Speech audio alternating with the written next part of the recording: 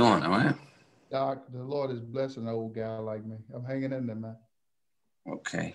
Count down. Yeah, we count down 10 seconds.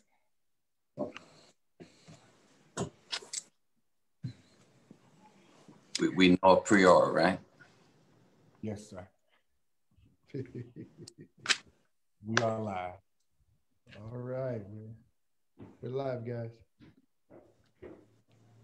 Let Jonathan do his welcome to everybody, and then we'll get started in just a very few moments. I will say initially glad to have all of our panelists back again tonight. I get forward for a great discussion in terms of social justice and the pandemic on tonight. I'm going to turn you over now to Brother Gibbons, who's going to facilitate for us tonight. As always, this is the day that the Lord has made, and I will rejoice and be glad. And we want to welcome you all tonight um, to our third installment of our social justice town hall. We thank you so much uh, for tuning in on tonight here in the North Peoria Church of Christ Cyber Sanctuary. Listen, do me a favor as you're watching right now. Take a moment and press that share button right at the bottom of your screen. Come on, I'm gonna give you a moment uh, to press that share button at the bottom of the screen. We're gonna have an awesome time tonight in dialogue and conversation, but I need you to press that share button. So I'm gonna give everybody a moment to press that share button right now, right at the bottom of your screen. Right at the bottom of your screen press that share button. And then if you're coming on in, we want you to say something. Come on, check in. Let us know where you are watching from. Let us know where you're watching from. Let us know what city and state that you are watching from. We're so glad that you decided to tune in with us again on tonight as we continue our dialogue to talk about the things that have been uh, affecting us um, as people, affecting us as a community of believers, and affecting us most importantly as African Americans in the Lord's church. So, again, come on in, press that share button, check in with us, let us let us know where you're watching from, um, and start a watch party. Do me a favor, start a watch party. Start a watch party right now, so other people uh, can can come on in and watch from wherever they are viewing this from. Uh, come on, just just share it, share it. Start a watch party, check in, let us know where you're watching from, and we'll get started in just about 30 seconds. 30 seconds, we're gonna get started. Come on, let's get these views up. Come on, come on, everybody, come on in. We welcome you again uh, to our social justice forum on tonight. We have a great uh, group of panelists um, who will introduce themselves in just a moment uh, to you all, uh, right from around the country. A plethora, plethora of, of, men and women of God here on tonight. Uh, right from around the country. All righty, we're going to start with introductions. We'll start with Dr. Russell Pointer on tonight. Hey, I am uh, Dr. Russell A. Pointer from the Minneapolis Central Church of Christ, and um, glad to be on this panel again. Thankful to Dr. Warren for uh, Blakney for inviting me and to be with such a great cloud of witnesses with lawyers and just great men of God and people and men and women of God. Thank God for you. Pastor Bowdre.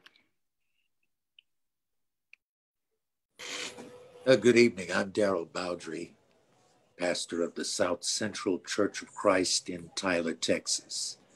Thank you also for, I really enjoyed being a, a participant last week, and I anticipate a lively, lively discussion tonight. Dr. Matthews. Uh, good evening, everyone. I'm Cleavon Matthews, minister of the Bold Believers Church of Christ in Dayton, Ohio, also a licensed professional counselor humbled by the invitation from Dr. Blakney to be a part of this uh, panel discussion tonight. Yes, thanks.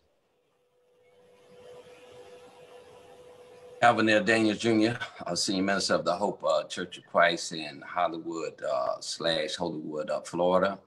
Uh, thank you, grateful again to be a part of this uh, panel. Thank you, Dr. Blakney, for uh, setting this table, and thank you for the seat at the table. Looking forward to the discussion. Pastor Brown. Jonathan, I don't mean to uh, try to be chivalrous, but if you could, could you allow our dear sister to go before I do? Of course, of course. It's Katrina Brown. I had my whole last but not least statement ready to roll. Uh, Katrina Brown, Birmingham, Alabama. I'm a practicing attorney here in the state. Awesome. And assistant awesome. Awesome. All right, brother Antoine Brown. Antoine Brown, uh, minister of the Azalea Drive Church of Christ here in Charleston, South Carolina. And let me say, go Braves. and Dr. Blakney.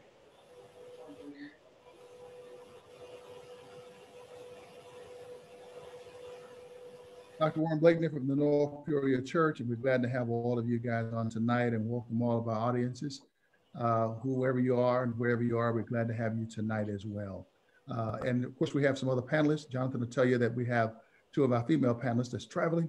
So Jonathan, won't you let them know where they are? Yes, so we have um, Amber Baldwin and Dajane Burnett um, as well as Sister Deborah Houston. They're all traveling and did let me know. So we want to make sure we pray for them as they're traveling right now, traveling grace for them uh, while they are out around the country. And so we're praying for them and hopefully, prayerfully, they'll be back on uh, on next week. So keep them in your prayers. All right. All righty. Listen, we want to get started with our questions on tonight. We want to interact with you all in the audience. So if you do have a question, make sure you leave that question uh, write uh, in our comments. Just put hashtag question so we can find it easy. Just put hashtag question and type your question out so we can address it. Or you can shoot that question to us via email, North Peoria COC at gmail.com. All right, here's our first question for tonight. Some say that this pandemic has explicated, exposed, and pushed many churches outside of their comfort zone in order to stay afloat in ministry. Uh, from a pastoral or constituent standpoint, wherever you fall on the spectrum, what methodologies have you seen shift in the church during the pandemic? Have they been successful? And should those changes have taken place pre pandemic? Uh, let, us start with, uh, on tonight, let's start with uh, Brother Antoine Brown. Um, so there has been a shift in methodologies. You know, I remember, and, and I'm I'm only 43, and I'll be 44 on uh, Thursday. But I, I remember, you know, when when we were growing up, there was a time when, you know, we spoke bad against televangelists, and you know, you can't go to church through the TV, and you you can't do this, and and now all of a sudden we've had to shift that message because everybody going to church through the TV um, and so we, we, we've had to, to, to shift um, some things.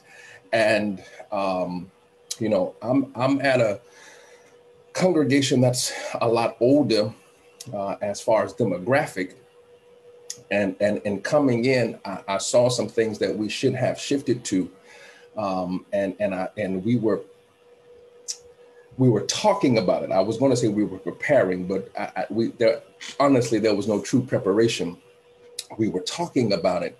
And before we knew it, here comes the pandemic, which pushed us to move in a direction that we should have already been. We should not have had to scramble uh, to have this virtual presence. We should have already had this virtual presence because, you know, if you stay ready, you don't have to get ready. And I think we were in a in a mode where we had to get ready, so we were trying to play catch up. You know, thank God we had some people who were capable of bringing us there. Uh, but to answer your question, certainly it has made us change some of my, our methodologies. And if and if I could be honest, it challenged some of our theology. Okay, thank you, Brother Brown. Brother Bowdre. Well, I want to I want to first of all uh, second everything that brother that brother Brown said. Uh, carrying it a step further, and in answering your question, yes, these things should have happened pre-COVID. Uh, and I'll make the statement that for um, for progressive-minded churches and ministries, um, COVID could turn out to be a blessing. I think that for the church, this pandemic has caused us to rethink our relevance. And in a lot of ways that we thought we were relevant, we were just, we were blinded because we had the luxury of not believing the truth. For instance, we didn't want to believe that we were losing our young people, but we did. And they weren't giving up on religion. They were going to churches and religious organizations that spoke to their needs and that spoke to their lifestyle. And I don't I don't mean that in a demeaning way. These churches were connected. We held on to an old model. Um, and as I always said, if you don't uh, if you don't tell something uh, that what we do is just tradition, then in our minds, tradition then becomes truth, right? Because we we never say anything, we never say anything different. Um, not only do we have to um, realize that our definition of church has to be broad, because all of us that are online are preaching to more people than we were preaching at uh, preaching to a year ago, twice as many people, three times as many people. And if you and if you use analytics, I mean, this COVID has given us an opportunity in the church to create more, use more gifts within the church and use our young people because this technology is the language that they speak. Uh, and we don't have no longer have to wait till a child that grows up in the church is 43 years old before we consider him or her for any position of prominence or leadership. So I think I, think we're playing on a completely different playing field. I'm glad that I'm like the old prophet Annas. I'm I'm glad to see this day. Uh, I, I, hate what brought it about, but the church has always thrived through persecution and plague, pestilence. So let's go with it. Sister Brown.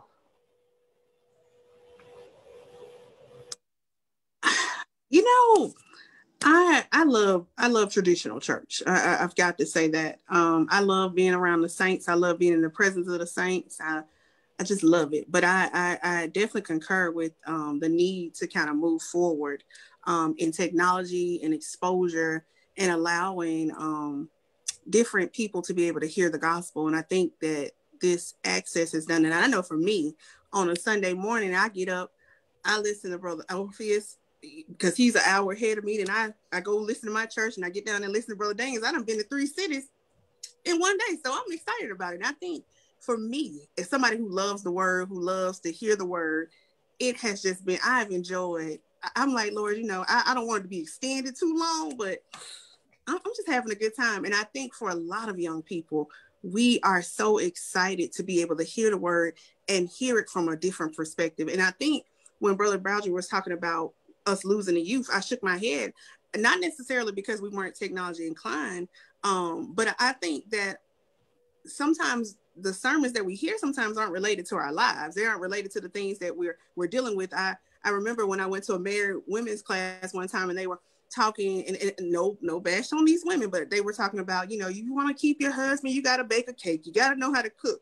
And I was thinking about my granddaddy who cheated on my grandma. She the best cook I ever know. I'm like, it ain't never kept a man. I, I like like we need to be talking about stuff that people are actually dealing with. And so I think now in this pandemic, it has forced preachers to step their game up and to teach hope, to give out hope, to teach about the things that we need in this season. So I'm excited about it. Thank, thank you, Katrina. Thank you so much. Dr. Pointer.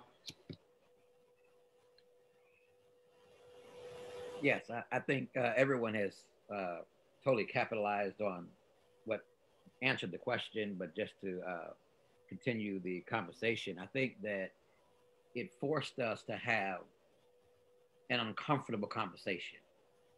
Um, I, even with my own self, uh, I had to look at, well, I like, I, am a, I'm the last of the baby boom, last year the baby boom. So I, I like having the guys walk down the aisle with the communion trays and watching the communion trays packed up, stacked up. And I enjoyed passing it out. I enjoyed watching it and, and taking the cup and watching everybody crush the bread up. I, I enjoyed all of that. I grew up under that era. And uh, even before that era was ended, uh, I knew that God has been speaking to me, dealing with this thing. And so we were kind of, I, I, got some things in place pre COVID. So when COVID actually hit, I was ready for it. We had already gone to online giving. We had already taken, even though I, I fought, the longest thing I fought was the communion because I like seeing my men come down the aisle. I, enjoy, you know, and, and so I got rid of that. And then we went to the packet beforehand. So when all of, when, when COVID hit, we were already prepared for God had already prepared us for everything that was going to take place almost. So it was really uh, prophetically, not only that, but God allowed us to not just talk about church, but actually be the church now. And that's why we started our feeding program. That's why we have an uh, online presence, not just uh, uh, uh, uh, viscerally, but virtually. So you have two different audiences. You got the, the, the visceral audience, uh, and you got the virtual audience. You got the visceral, those that are right there. I got my little crew that I got my essential crew, and then I got those that are online watching. So I think it's very important. And when it comes to what, what uh, the, the, attorney said earlier, uh, and I appreciate what she had to say, was that you're right. You can go to three different cities. I can hear all you guys preach and go to your favorite preacher. You got people who like to hear you preach, so they come to your service. Um, and it's not so much that that that so much, but like you said, it goes back to realness and relevance. And it goes back to what Paul was talking about in second uh, First Corinthians 3, where Paul said, I want to come and talk to you about heavier matters, but I can't because you're still on first principles.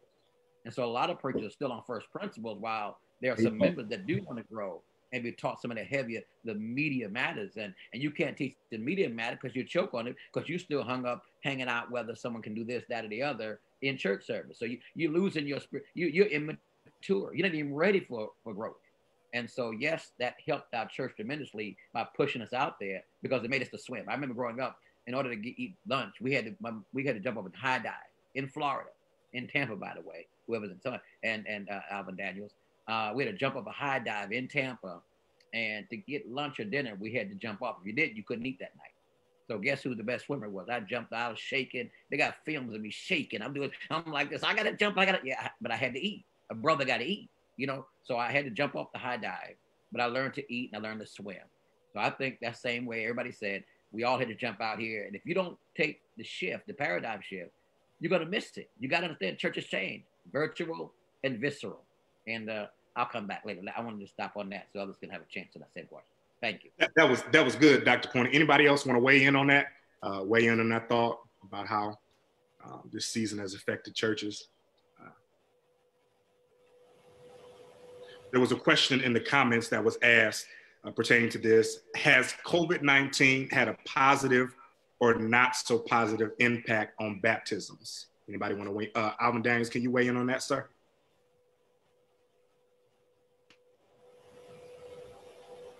Uh, Brother Jonathan. Um,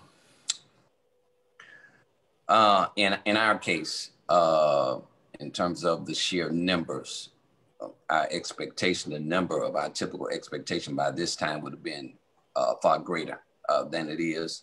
We've had um, some baptisms, uh, but not to the degree that a you know a, a meeting church uh, would have had at you know by this time. Um, and I think baptisms, and I can't speak for everybody, uh, will, will be a little bit more difficult now because, you know, it's kind of like you're chasing the baptism instead of a person walking down the aisle and the atmospherics that contribute to that dynamic uh, taking place, they're simply not there.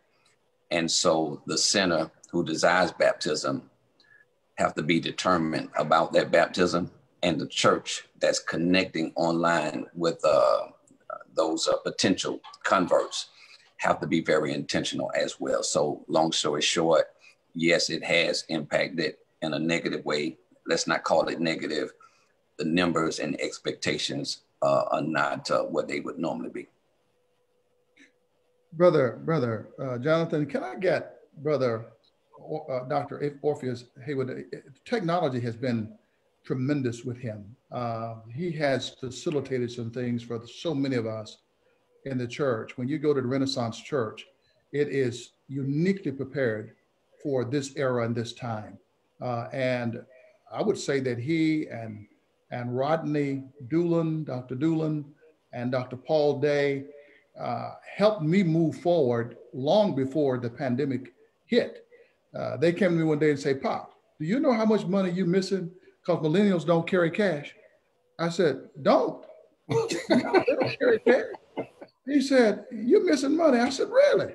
He said, yeah, Pop, get one of those card swipes and get some money. I said, I don't know about that. And I messed around and got the card swipe, and my offering went up $2,000 because millennials don't carry cash. So at that point, I went to everything else from Stripe to card swipe to everything else because I discovered that you have to understand the culture. And so I got with young men who helped me, including Dr. Heyward, understand this culture.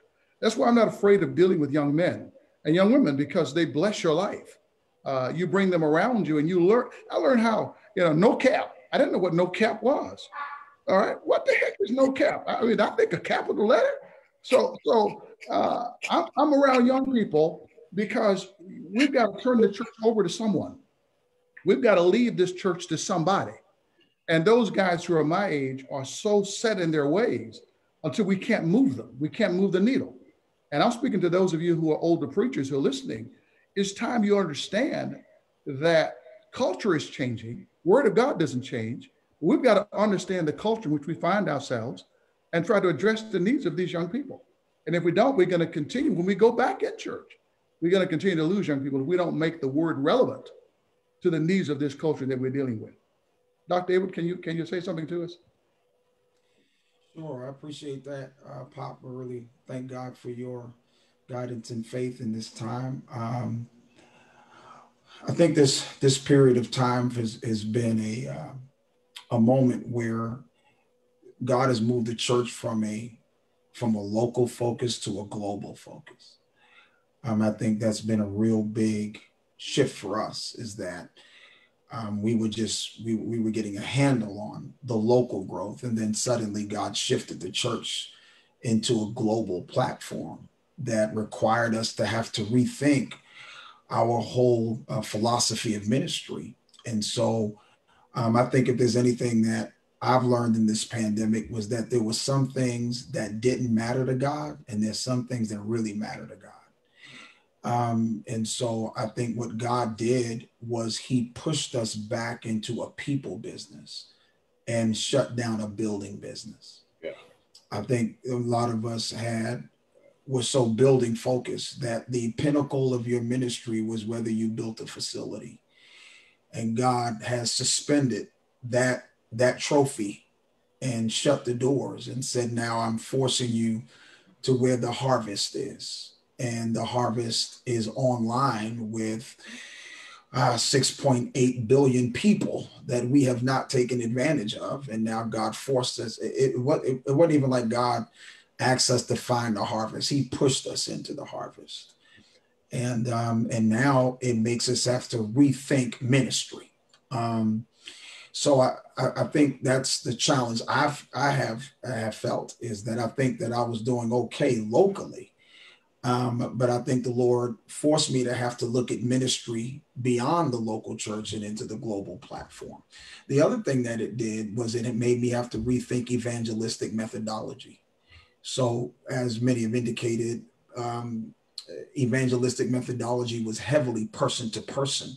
So, what we had to do was create third party material that could be shared online by our members and we had to give them um, we had to give them material that they could use in Zoom, material that they could use on Facebook Live, material that they could use that was electronic. And so we had to literally train the church how to do evangelism a different way using third party online material, which was a shift. Um, but then, you know, when I realized that, I was like, man, the church has been really behind because every other product has been sold in that way online. It's and the way they advertise their product. Um, it, it's clear that the church has been behind. So now evangelism has had to take on a different kind of methodology. With baptisms, um, we have consistently baptized, but not to the number that we once baptized. So it's been consistent, but uh, the methodology is different. I think Alvin mentioned, you know, you we have the benefit of the atmosphere. Now I find myself in my invitation saying, now, if you want to, if you want to be saved, make sure you email us or make sure you call the number on your screen. If you call that number right now, we will be, we're ready to respond. And that back in the day, we'd say, don't you let the devil hold you in that seat. Come like the, the, whole verbiage had to change. so now we have to say, no, man, right now, call that number right now. Pick up your cell phone, send us an email, you know, and and so we would press that and we we we have to wait for emails and phone calls to come in so we have a staff that wait several hours after the message just in case a person wants to be saved so the methodologies have shifted that's my contribution is is really think about ministry in a virtual world will completely metamorphosize your methodology. And I can speak more to that, but would love to uh, hear hear others on that. That was that was good, Dr. Heyward. That was good. Let, us transition to our uh, next question. Growing up, many leaders and patrons of the church uh, would argue that when you are dealing with issues such as mental health, all you need to do is take it to Jesus and pray that things will get better. But as the climate of mental health has shifted, uh, many theologians and scholars believe that it is now okay to have Jesus and a therapist. Oh, you're right. What are your thoughts? Can, can I can I start with Dr. Cleavon Matthews? Can you give us your background as well, sir? Uh, yeah, I'm a minister and a licensed professional counselor, uh, also registered nurse here in the state of Ohio. Um, I've had experience at uh, Lebanon Correctional uh, Center, also uh, Samaritan Behavioral Center, which is a treatment center for uh, alcoholism and addiction. Uh, I have some experience in private practice and I currently am a military family life counselor for uh, Wright-Patterson Air Force Base. Um, mental mental health, uh, in the simplest way that I can put it, is the same thing as physical health. You see a doctor uh, for um, your mental health, for your uh, you have a cardiologist, you have uh, uh, pulmonologist, um, you, you see a doctor, uh, they may prescribe medication, they may uh, recommend uh, some type of physical therapy, they may recommend a specialist, uh, and the list goes on and on. there, there's quite a bit of stigma and continues to be stigma as it relates to mental health. Uh, but mental health is real. It, it exists in our churches. It existed before COVID. Uh, there are people sitting uh, in most of our churches who, uh, according to DSM 5 uh, st statistical manual, would fit the category of diagnosable mental health disorders. Um, there's controversy around things like autism and ADHD, but they're real. Um, addiction is real. Um, bipolar disorder, um, schizophrenia, borderline personality disorder, antisocial personality disorders. Uh, a lot of times, those people have been in our church and they're usually a problem. And we think that it may just be a, you know, they're just being uh, a difficult person when in fact that person uh, may may have in fact a mental health disorder uh, that is not been diagnosed and is not being treated. Uh, I think that every everybody who pastors a church, everybody who's involved uh, in ministry ought to uh, have some type of mental health uh, counselor or therapist to help process uh, some of the things that we experience, uh, just to be able to be in a confidential sit- setting uh, and unwind and, and get some things off of our chest. Um, God created counselors. God gave, uh, the scripture talks about the wisdom uh, of counselors. We can read in the Old Testament. Uh, in fact, Jesus was, one of the titles is wonderful counselor. So uh, counsel, counseling is not uh, antithetical to, uh, to theology or to the Christian life. It is a wonderful uh, gift that God has given us, and more of us need to take advantage of it, especially in times like COVID, when folks are experiencing more isolation, more, uh, more depression, more anxiety, uh, because they're uncertain about employment, they're concerned uh, about family members uh, who some may be elderly and they're in nursing homes. Uh, they can't visit them. Uh, they can only see them through a door or a window. and uh, you have parents now who are uh, having to um, to work and to find out how make a way to homeschool their children. So it, it's a very stressful time for a lot of people, and uh, we we need resources. We need mental health resources. Not to mention, uh, September was Suicide Awareness Month. Uh, this month, the month of October, is Domestic Violence Awareness Month, um, and, and, these things happen in our churches. Uh, we we know this. We uh, there have been occasions where uh, members have been killed right at right on the grounds of the church uh, domestic violence, suicide. Uh, Christians, uh, some have committed suicide. We've heard of people in ministry who have committed suicide. So uh, there is a lot of work to do in, in terms of mental health. Um, and we have to find ways to, to, uh, to remain sane uh, when it comes to uh, when it comes to this. I'm platforms like this um, give give us an opportunity to uh, to connect with each other in terms of brotherhood, in terms of fraternity, uh, in ways that are so critical and important.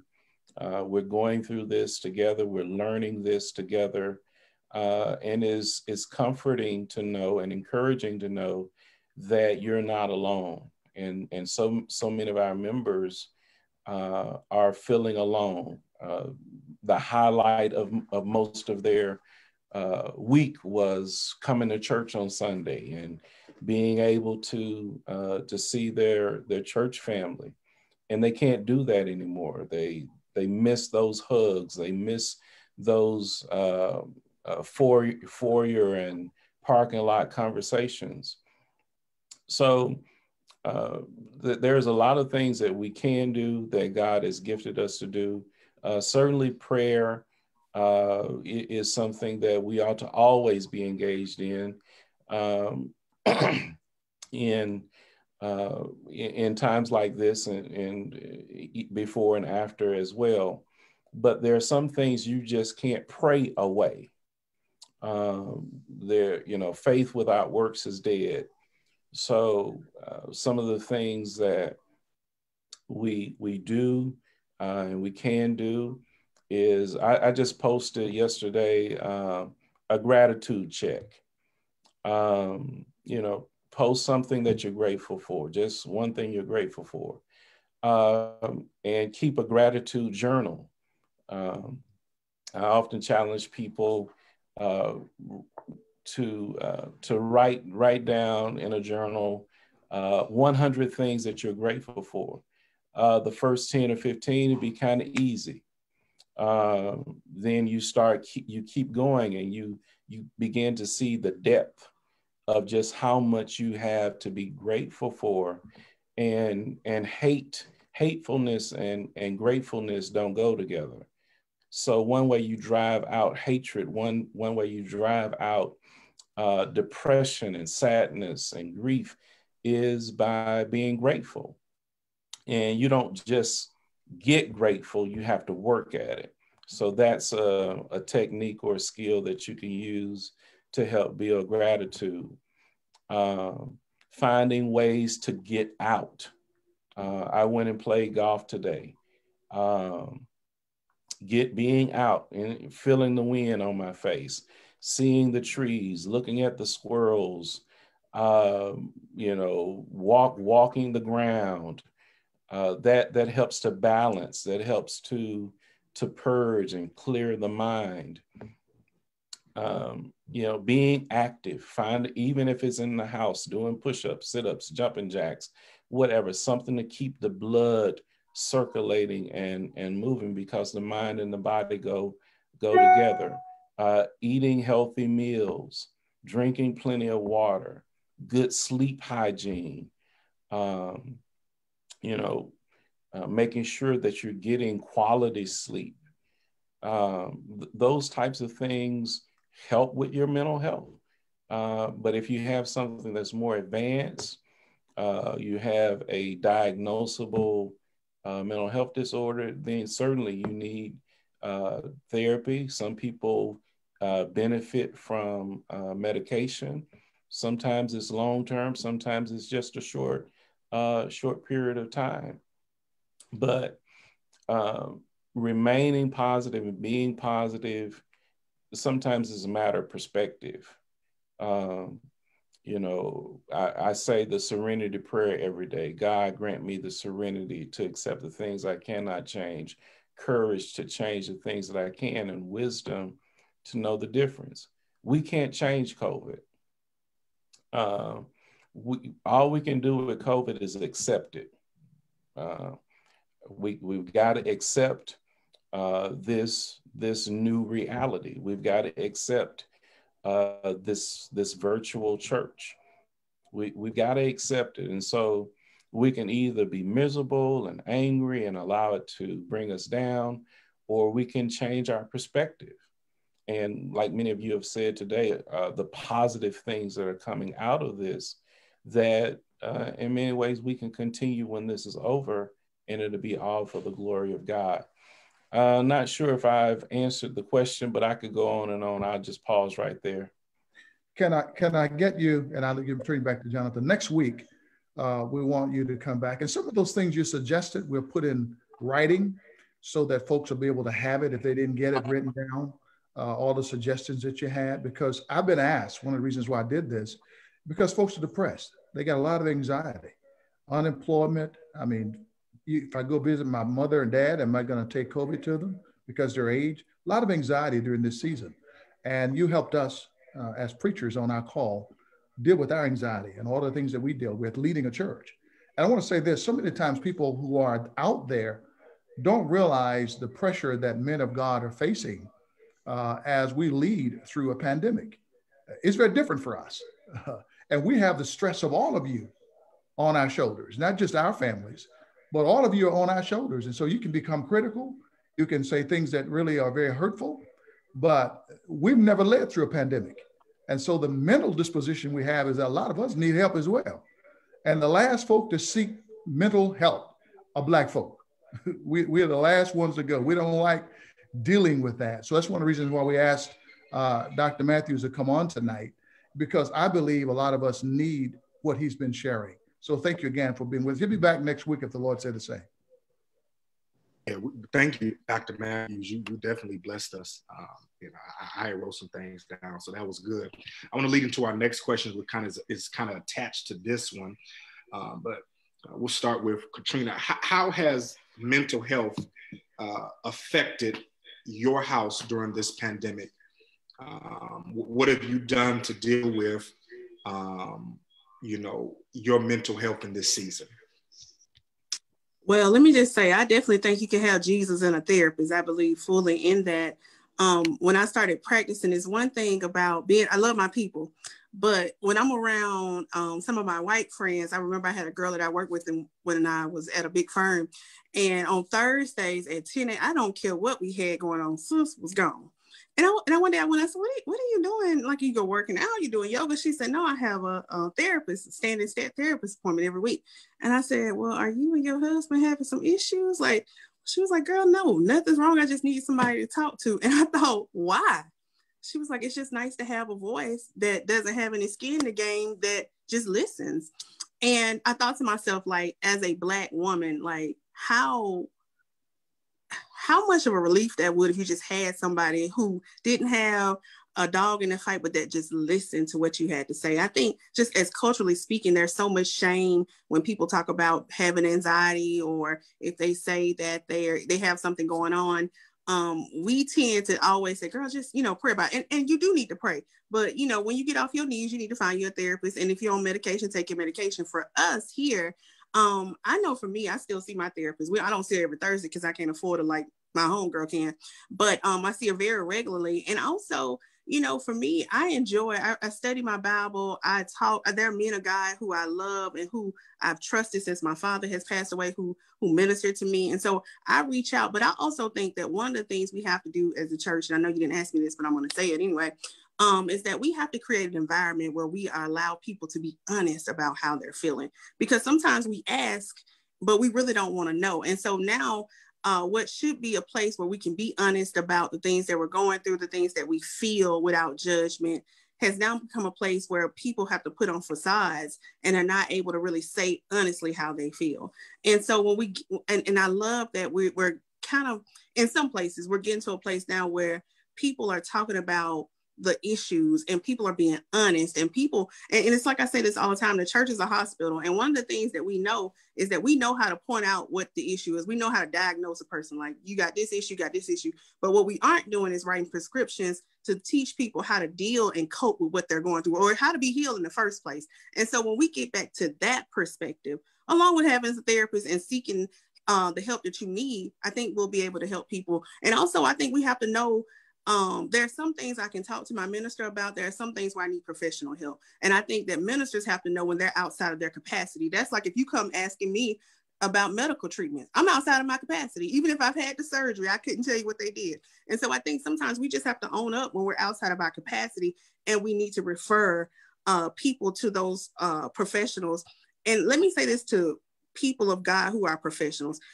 Brother Dane said this a couple of uh, years ago when he was teaching. He said, if everybody in the church was operating on their gift, we would lack nothing. There is no excuse for people in the church not to have wheels when we got all these t- attorneys sitting up in here. There's no reason why we don't have people getting counsel. We got counselors that go to our church. We need to use the resources. So yeah, I don't know if I answered the question, but that's that's my answer. That was good. Dr. Corner, I see you have your hand up, sir. I wanted to say that um, real quickly that I wanted to make an appeal um, to all of our black men, our, our preachers, particular. There's nothing wrong with getting therapy. Um, I needed therapy before COVID, so I sure need it now because what COVID did, it traumatized. Trauma. There's a thing called trauma, and what COVID did was threw America into trauma. And so a lot of us are going to have to. I, I'm a firm believer that the uh, the clergy and the clinician are going to have to marry each other so they would be, because at least be healthy. Because the point we want to make is we need to be healthy. And I want to say that because a lot of times we want to talk about everybody going to counseling. I appreciate the attorney, uh, Cynthia Brown, was very real and honest. And I'm telling you, as a black male, we need to be honest about therapy. Um, I, I, I, like my favorite show is uh, Lean on Me and I got several parts, but there's one part where you all know he came in to clean up school, and then uh, that young man came in and threw the desk on on him, and he says uh, that she walks in the office, said, "Oh my God, Mr. Clark, nobody knows what you're doing," and he made a phrase exactly. I like it like that. And sometimes we think we got God figured out. And what God did was dump the whole world in shambles. And guess what? God likes it like that. No one has the answer. We can sit right here and talk about this all day long. No preacher has a blueprint as to what God is going to do next. We all have to have faith. We all have to go get counseling. And we all have to marry the clinician. And as like I told you earlier, and the clergy or the preacher are going to have to marry. We're going to need each other. Because what happens is I need you to clear my mind during the week, but I need hope on the Lord's day. And I just want to marry those two together um, and again, trauma. We've been traumatized. And so we need to be at least healthy. If nothing else, at least become, I want to encourage our Black men, especially, not that women aren't important, but our Black men, please be healthy. Thank you. Thank you. Thank you. You, you um,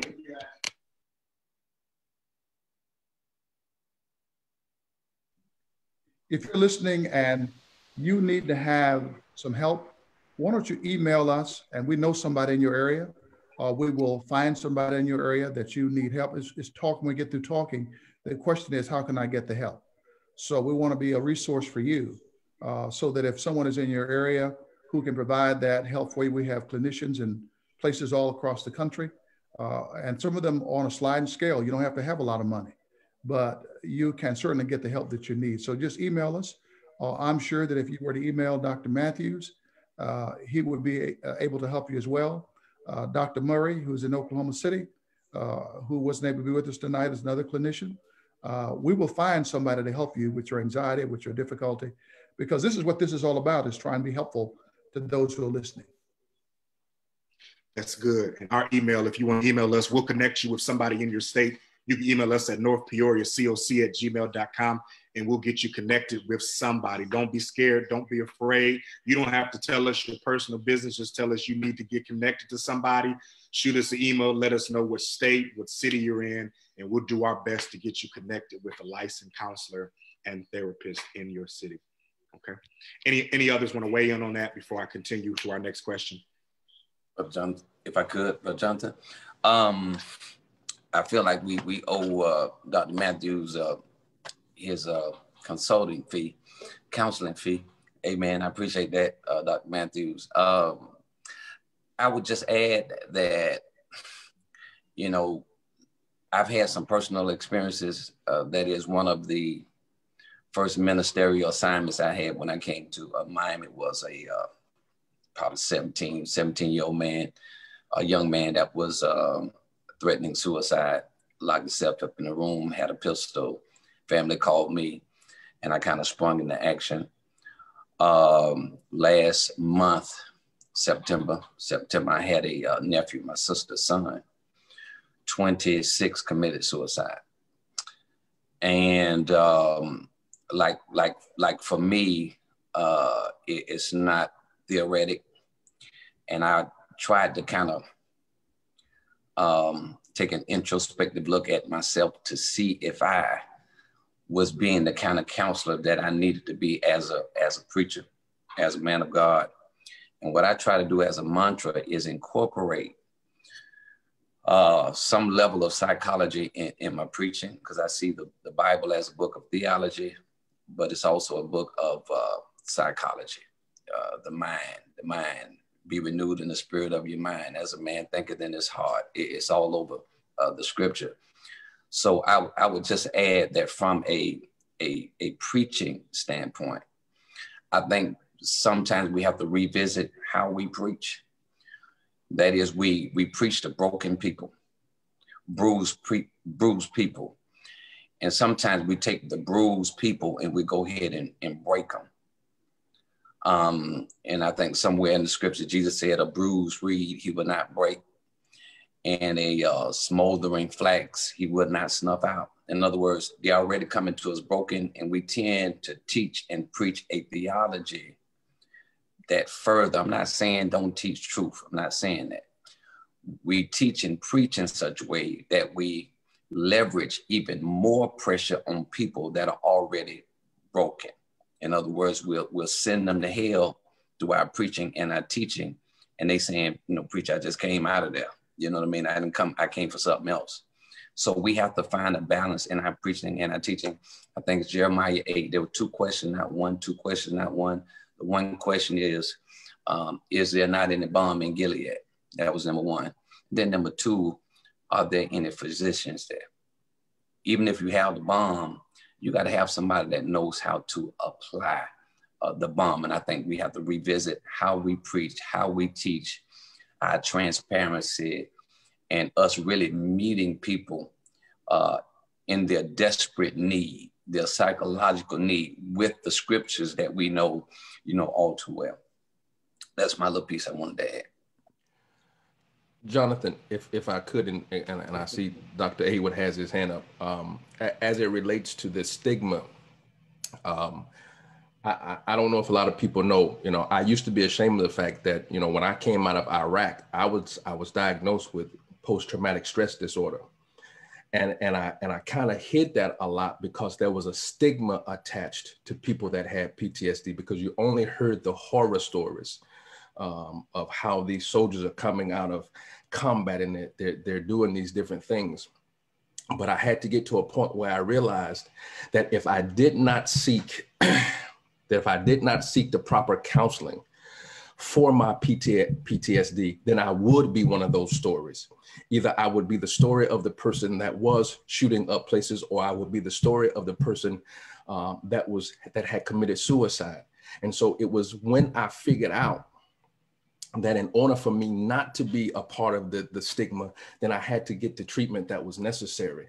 And so, um, you know, as I, you know, got more into ministry, and especially here at Azalea Drive, one of the things that I, I made very clear was we were going to make our church a place of no shame, a place where you could come in and be transparent and be honest about the fact that you need help. If you were struggling with you know if, if, if, you're struggling with your sexuality if you were if there was a woman that was being abused at her home if there were children that were dealing with sexual abuse at home you could come in and we were we were not going to just tell you to pray. I had to change our language from we'll pray for you to the to let's pray and then we're going to get you some help. Because this is what i know. I don't know anything about I, I, I take therapy, but I don't I don't know it, and I don't even play a therapist on television. So I had to realize that there is a limit to what I can do.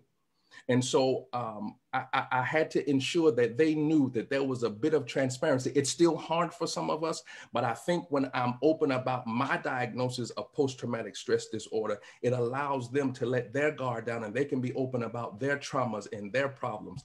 And so I, I think we have to get to that place. And the last thing I want to say is if there is somebody, and, and, and I've talked to uh, Dr. Matthews before and, and, and, I offered this to somebody else and he gave me a range of his price.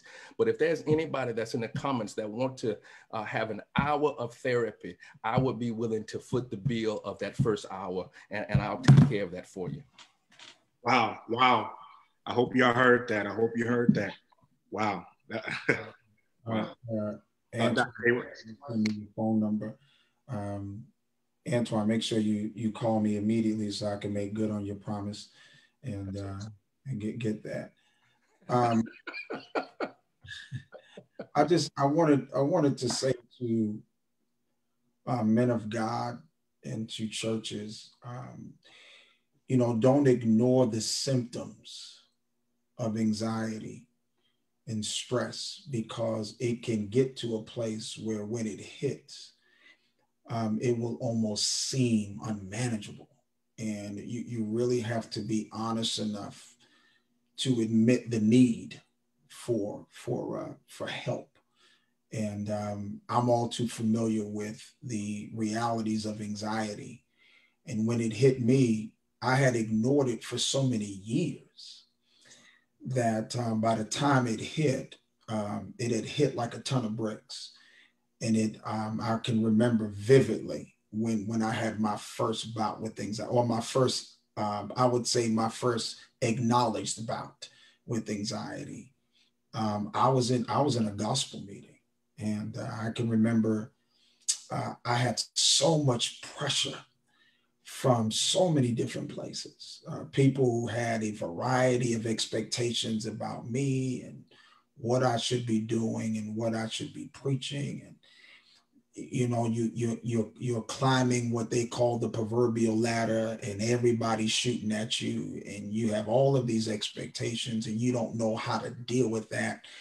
And you worry about who you're pleasing and whether or not you're meeting everyone's expectation. And before you know it you crash. And you you trying to manage what looks like your success while at the time time at the same time hiding your failures and you're trying to manage failure and success in the same breath and and you'll find quickly man that um, it, will it'll crash. And so men of god i would hope that you would be honest enough to to admit the real pressure of ministry and know that everybody doesn't take the time to check your pulse and sometimes we would want the people of God and those we work with to check our pulse, but sometimes everybody don't check our pulse. And so when I went through my anxiety and didn't know what it was, the first person I called was Cleavon Matthews. I was in Jackson, Mississippi. And the only reason I knew to call Cleavon was because Cleavon was brave enough to share with me his own battles. And so when it hit me, the first name that came to my mind was Cleavon. And, and when I called, I don't know if you remember that Cleavon in Brook, I was in Brookhaven, Mississippi. And I called and my blood pressure shot up. I had sharp pains in my body. I was shaking. I was disconnected from anything that felt like emotion. Uh, usually I'm excited to go home. I think about my son. I didn't feel like I loved my son, didn't feel like I loved my daughter, didn't wasn't excited to see my wife. I felt like an empty shell floating in an empty space. Uh, and I didn't know what to do. And I called Cleavon and, and, and got some advice to try to at least calm down till I could get home. So, what I'm suggesting to you is that the best of us will have that battle and it is better to be honest with it so you can address it because camouflaging it is, is ultimately unhealthy and you won't be of any good to anybody trying to fight it on your own. I want to, I want to thank you before I'm going to turn you back to Jonathan in a moment. Thank you guys for your transparency. Brother Antoine, thank you for your offer, uh, for what you did. Listen, as we close out this aspect, and Jonathan will say some things about it. For men of God, one of the reasons why we brought Dr. Matthews on is not only for our public, but for our preachers as well. Uh, this COVID, I buried a seven year old boy that was born uh, and bred right here. Went to the hospital down in Memphis, treated for cancer. And I stood over his remains and buried that little boy. Uh, I've buried so many of close members to me in 24 years, 25 years, who supported and loved me through all of the stuff that we've been through, through the death of my wife. And so I know we just press it down and press it down, but every once in a while, if you're not careful, it'll run over. Uh, and so I'm I'm thankful for the transparency because we need somebody to talk to. We're gonna need somebody somewhere in life that's confidential, trained, uh, that can help us with our difficulty. And so we again thank all these guys who are here. Uh, Daryl, you have some some people who are trained, licensed clinicians. You want to give that, and I think Jonathan's going to close us out on this part.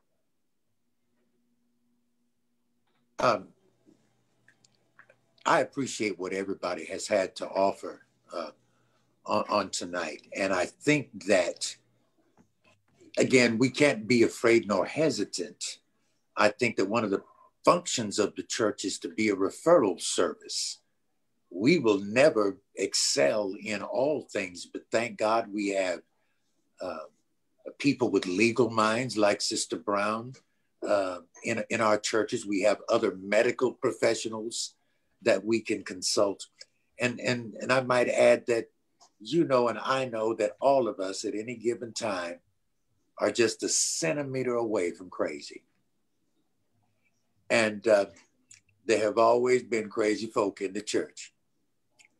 And, and shame on us that we have not recognized and be, been able to treat them I remember I was a 20, 21 year old preacher in Cleveland, Ohio.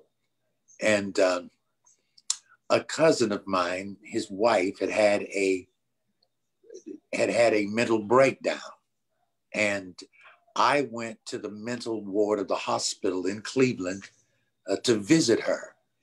And the moment she saw me, she had a terrible meltdown.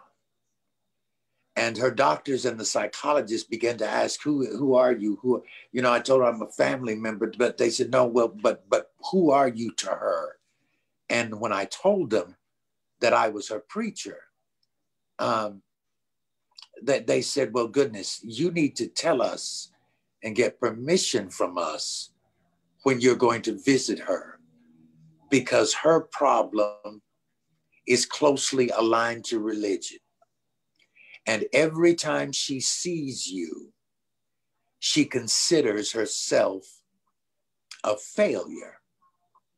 It bruised my little ego at first until I truly understood what he was saying.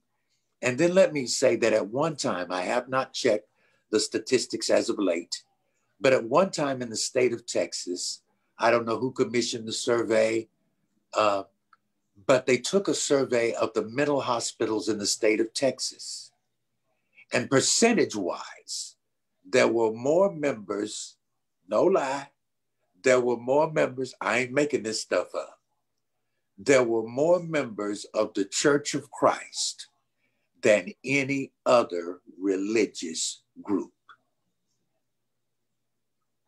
Why is that?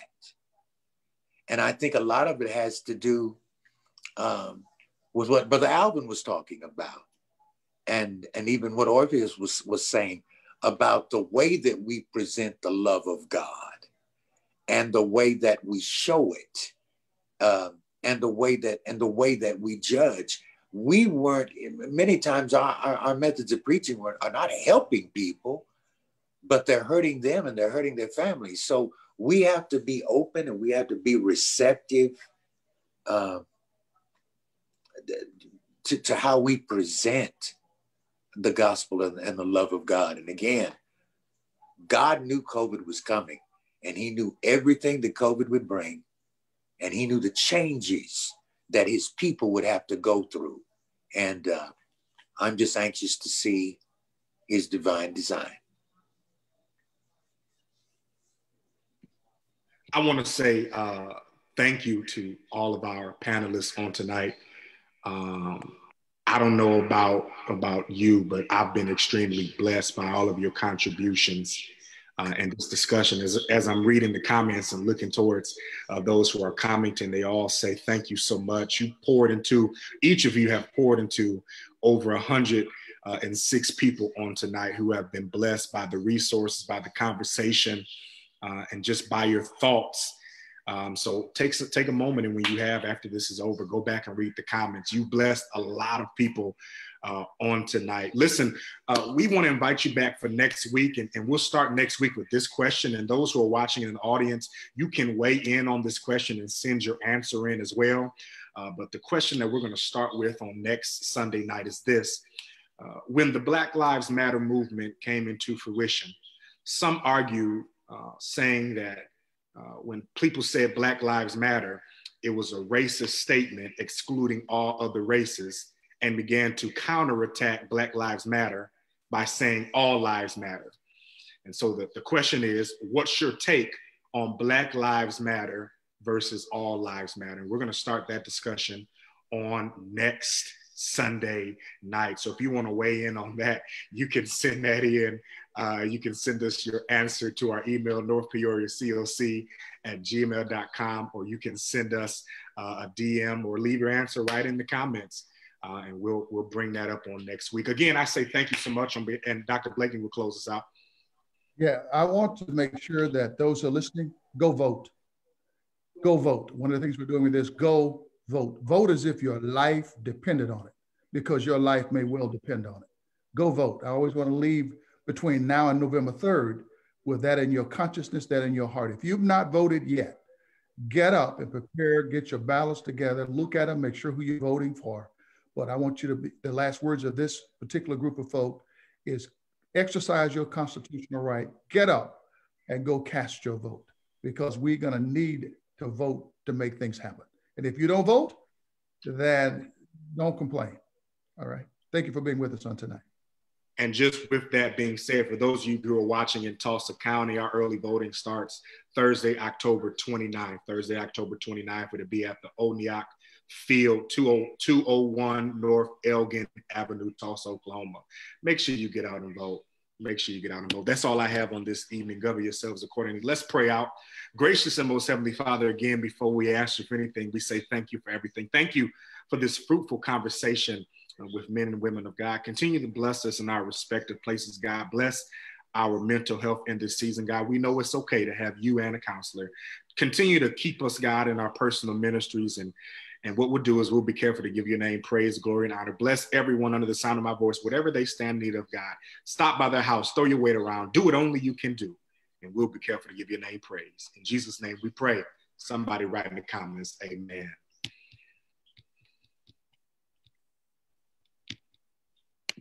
Amen.